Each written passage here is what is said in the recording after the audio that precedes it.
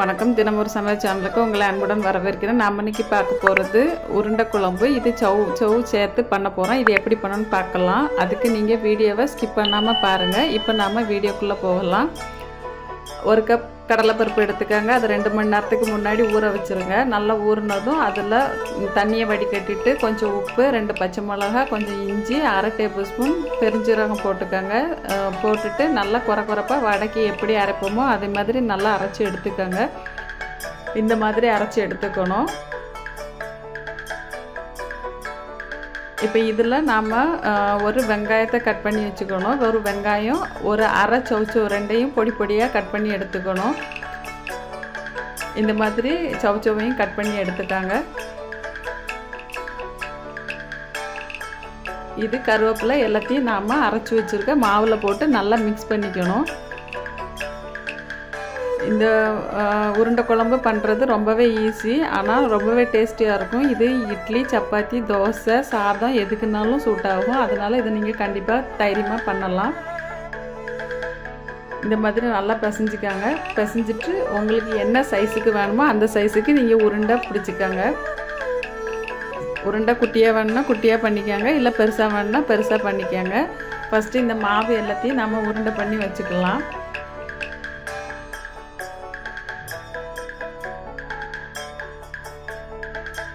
இந்த குழம்பு ரொம்பவே நல்லா இருக்கும் அதாவது கொஞ்சம் சிக்கன் டேஸ்ட் கொடுக்கும் இது. சாப்பிடும்போது அந்த சவு சவு நம்ம கடித்து சாப்பிடும்போது ரொம்பவே நல்லாயிருக்கும். அதனால் நீங்கள் இது ஒரு முறை ட்ரை பண்ணி பாருங்கள்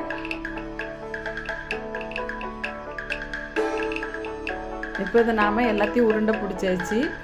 இனிமேல் மசாலா அரைக்கணும். அதுக்கு நம்ம என்னென்ன தேவைன்னு பார்க்கலாம். ரெண்டு வெங்காயம் ரெண்டு தக்காளி எடுத்துக்கோங்க. இதை கட் பண்ணிக்கோங்க. கட் பண்ணிவிட்டு நம்ம மிக்சியில் போட்டு அரைச்சி தான் எடுக்கணும். இது கூடவே ஒரு சின்ன துண்டு இஞ்சி அப்புறம் ஒரு பத்துலேருந்து பதினஞ்சு பல் பூண்டு. உங்களுக்கு எவ்வளோ பூண்டு தேவையோ அவ்வளோ பூண்டு நீங்கள் சேர்த்துக்கலாம். இது எல்லாத்தையும் நாம் ஒரு மிக்சி ஜாரில் போட்டுருவோம். வெங்காயம் தக்காளி போட்டாச்சு.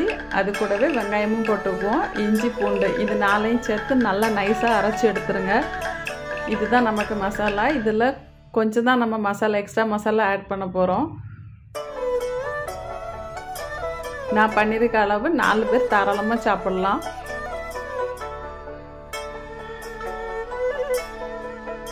இப்போ இதை நல்லா அரைச்சி இந்த மாதிரி நைஸாக அரைச்சி எடுத்துருங்க. ஒரு பாத்திரத்தில் எண்ணெய் விடுங்க. எண்ணெய் விட்டுட்டு ஒரு மூணு டேபிள் ஸ்பூன் அளவுக்கு எண்ணெய் விடுங்க. இதில் கொஞ்சம் எண்ணெய் ஜாஸ்தி விட்டிங்கன்னா ரொம்பவே நல்லாயிருக்கும் ஒரு மூணு டேபிள் ஸ்பூன் அளவுக்கு எண்ணெய் விட்டுட்டு அதில் அரை டேபிள் ஸ்பூன் சோம்பு சேர்த்துக்கோங்க. சோம்பு சேர்த்து சோம்பு பொரிஞ்சதும் நம்ம அதில் அரைச்சி வச்சுருக்க விழுதை சேர்த்துக்கணும். இது நல்லா வதங்கணும். அதாவது தக்காளி வெங்காயத்தோட பச்சை வாசனை ஃபுல்லாக போகணும். தக்காளி வெங்காயம் இஞ்சி பூண்டு இது நாளோட பச்சை வாசனை ஃபுல்லாக போகணும். அது வரைக்கும் வதங்கணும். அது எப்படி தெரியும்னா நீங்கள் சிம்மில் வச்சே வதக்குங்க. இல்லைனா மீடியம் ஃப்ளேமில் வச்சு வதக்குங்க. ஃபுல்லாக வச்சு வதக்காதீங்க. அது சீக்கிரம் தீஞ்சு போகும். ஆனால் பச்சை வாசனை போகாது. மீடியம் ஃப்ளேமில் வச்சுட்டு எண்ணெய் கசிஞ்சு வர அளவுக்கு நீங்கள் வதக்கணும்.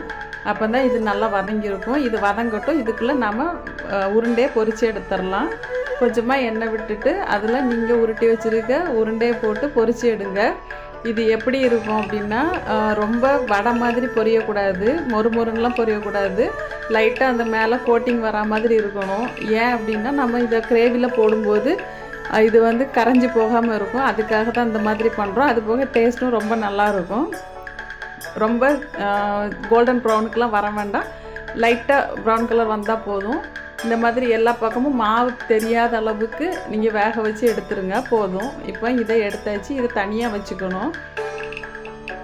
உருண்டை பொரிச்சிட்டு நல்லா பொரிச்சிட்டு தனியாக வச்சுக்கணும்.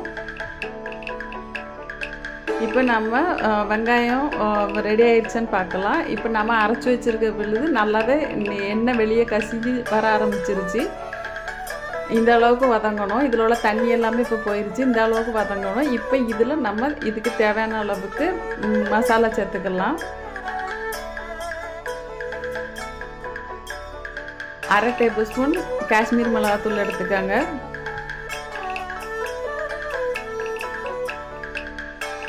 அரை டேபிள் ஸ்பூன் சில்லி பவுடர் எடுத்துக்கோங்க.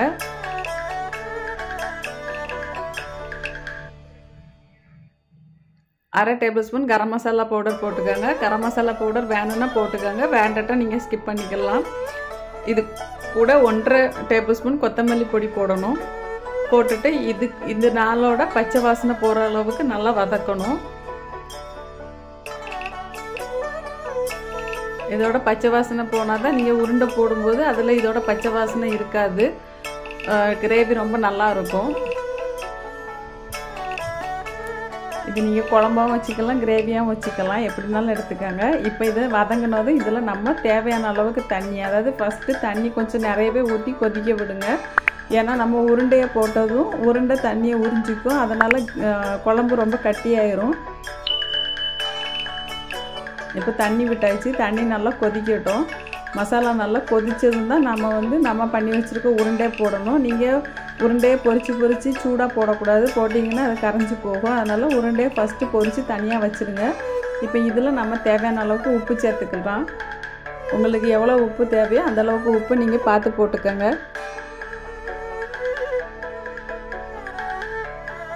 இது கொதிக்கிற வரைக்கும் வெயிட் பண்ணுங்கள் கொதித்ததும் நல்லா கொதித்ததும் நம்ம வந்து பொரித்து வச்சுருக்க உருண்டை இதில் போட்டுடலாம். இப்போங்க கிரேவி நல்லா கொதிச்சிருச்சு.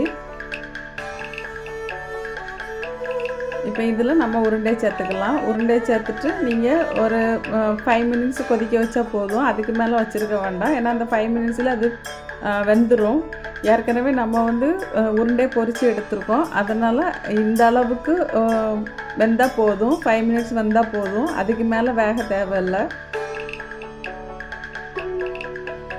அது எப்படி தெரியும்னா உங்களுக்கு மசாலாவில் உள்ள எண்ணெய் அவ்வளவும் பிரிஞ்சு வரும். பிரிஞ்சு வரும்போது இருந்தால் பிரிஞ்சு வந்திருக்கு நீங்கள் பார்த்தீங்கன்னா தெரியும். நல்லா பிரிஞ்சு வந்துருச்சு. தண்ணியும் கம்மியாயிருச்சு.